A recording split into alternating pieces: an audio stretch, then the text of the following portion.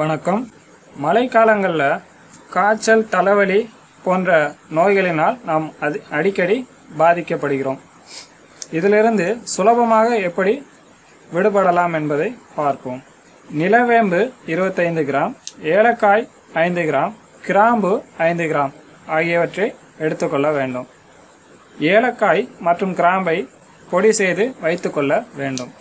நிலவேம்பு இலை மற்றும் பூவை எடுத்து அதனுடன் பொடி செய்து வைத்த ஏலக்காய் மற்றும் கிராம்பை சேர்த்து ஐநூறு மில்லி அளவு தண்ணீரில் கலந்து நன்றாக காய்ச்சி ஆற வைத்து ஆற வைத்து கொள்ள வேண்டும்.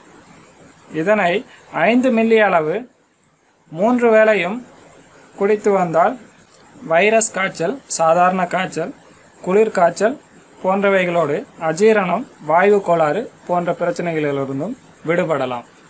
இந்த வீடியோ உங்களுக்கு பிடித்திருந்தால் எங்கள் சேனலை சப்ஸ்கிரைப் செய்யவும். கூடவே பெல் சிம்பிளை அழுத்தவும். நன்றி.